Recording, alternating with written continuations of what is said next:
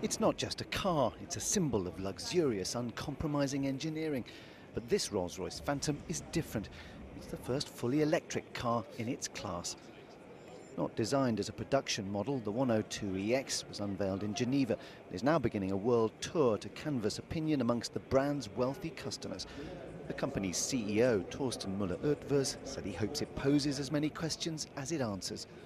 For us, it's a market research project, a test bed, where we want to learn more from our owners of uh, Rolls-Royces what is an appropriate alternative drivetrain for them? Is that something which would fit for a Rolls-Royce?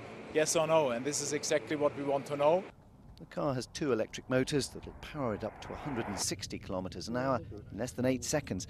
The largest battery pack ever fitted to a road car, giving it a range of up to 200 kilometres. Radical but sensible, according to industry analyst Christoph Stürmer of IHS Automotive. Why would you buy a 12-cylinder engine? Because it runs totally smooth, because it's noiseless, because it's full of power, and those are all properties that electric drive trains have. So it makes a lot of sense, but it, the, the uh, technology is not there yet. But it's enough, say Rolls-Royce, to gauge opinion. The electrification of the Phantom even includes the iconic Spirit of Ecstasy, which is lit with a blue LED, a little hint of what it stands for.